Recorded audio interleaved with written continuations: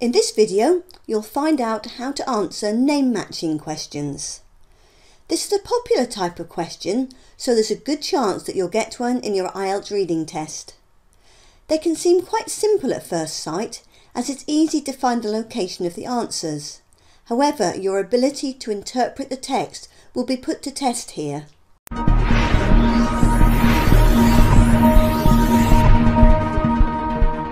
To make sure that you're well prepared, I cover five things in the video. An explanation, the skills you'll need, key tips, a proven strategy to answer this type of question, and a sample question with answers. We'll start by looking at what you have to do for name matching questions. Generally, the task is to match a list of people's names to a list of statements using the information in the text to make the correct matches. The names will normally be of researchers, experts or scientists.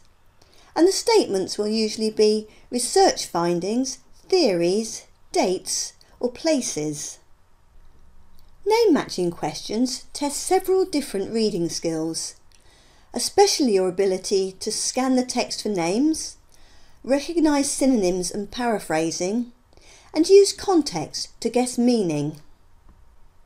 They also require you to recognise at least one of the following an expression of opinion, a theory, and research findings.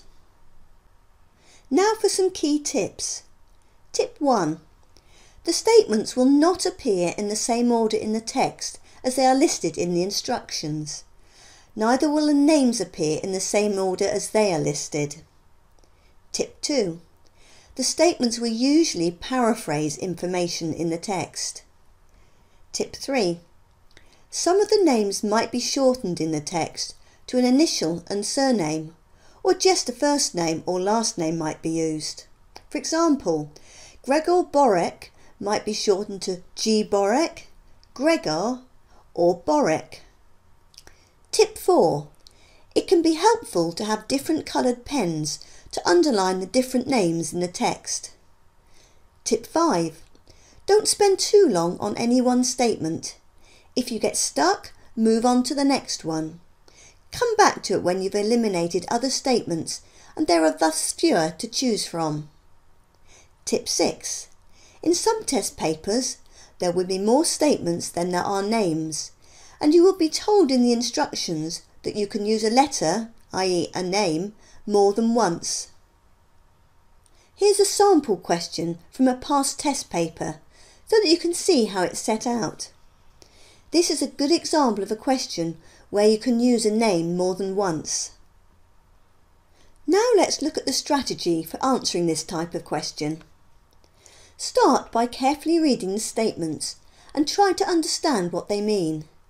Don't spend too long on this, but get the general meaning if you can. Then scan the text for the names and underline them. Do this before reading the text.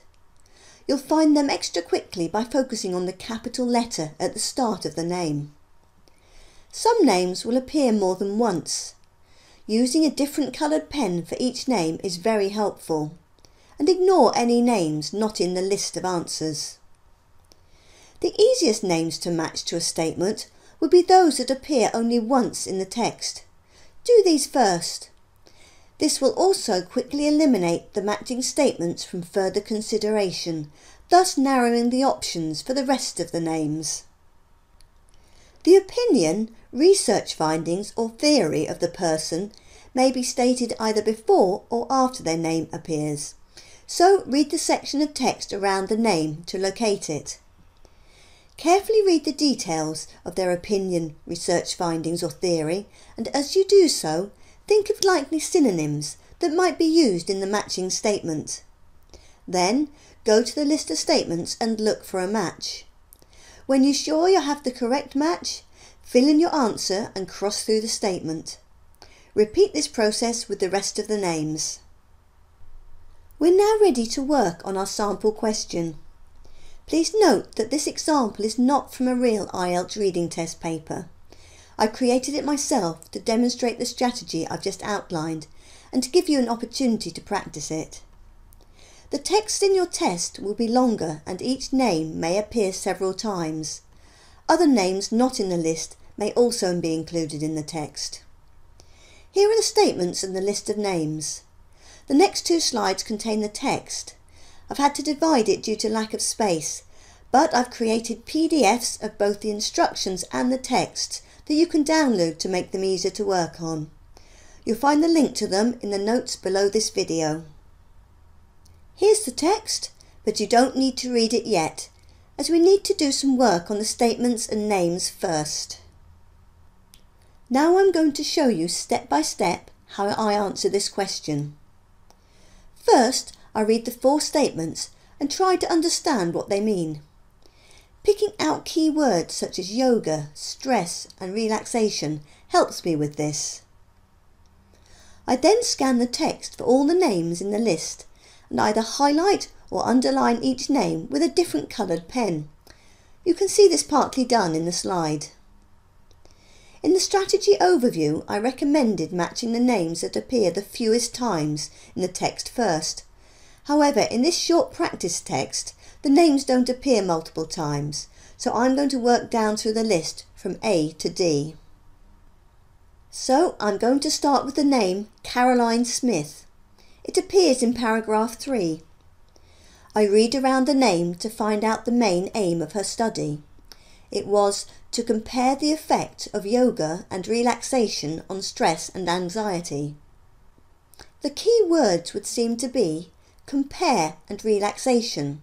So I now go back to the list of statements to see if I can spot them or synonyms of them. They're both in the second statement, which is the advantage of yoga compared to relaxation in decreasing stress and anxiety. I read the statement carefully to check that the meaning is the same as in the text. I also quickly check the other statements to make sure that none others have any similar meanings. I'm sure I have the correct match, so I fill in my answer, 2A. Then cross out the statement and move on to the next name. The next name on the list is Jayadeva Yogendra. It's in the last paragraph and appears as J Yogendra. Reading around the name, I note that this researcher studied patients with heart disease. So I start with these keywords and check the statements for them. I find them in statement 3. The significance of yoga in relation to existing cases of heart disease. I read the statement carefully, then go back to the text to see if all the information matches. It does. I also do a quick scan of the text around the names that I haven't yet matched to see if heart disease appears again in case there's a better match. I don't see it again, so I'm happy that I have the correct answer, which is 3B. The findings of the next scientist, Andreas Michalsen, showed a significant reduction in their levels of cortisol.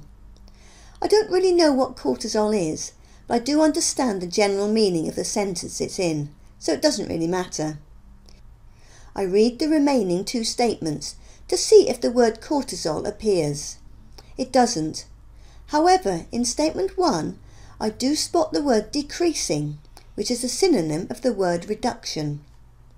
I also notice that there's a match for the word hormone in both the statement and the sentence in the text. The answer is clearly 1C. This leaves me with one name and one statement. I can assume that they match, but quickly double check in case I made an error with a previous match. This time I identify the key words in the statements first. They are circulatory system. Starting with the statement this time will be quicker as I already know which statement I'm working with. It's the only one left. I don't find a match but the term cardiovascular system does appear.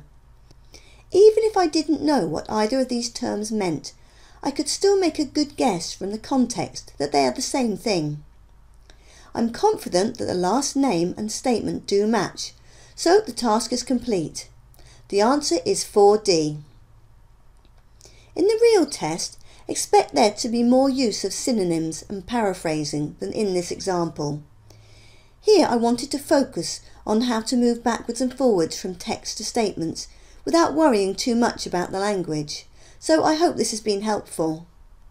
Now practice this strategy with past test papers and you'll soon improve your speed as well as your confidence. Thanks for watching subscribe for more.